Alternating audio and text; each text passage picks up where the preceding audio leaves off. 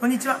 プロトリーフチャンネルです。黄色い花がたくさん咲いています。シネラリアゴールデンシャワーという名前のついている植物です。今は比較的コンパクトにまとまっていますがこれどんどんどんどんと大きくなっていきます。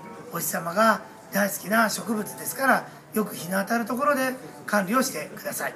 水やりは乾いたらしっかりと下から出るまで。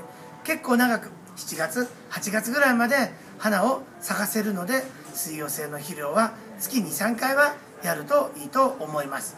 それともう一つ入手したら株は大きくなるので一回りか二回り大きな植木鉢に植えてやるといいと思います。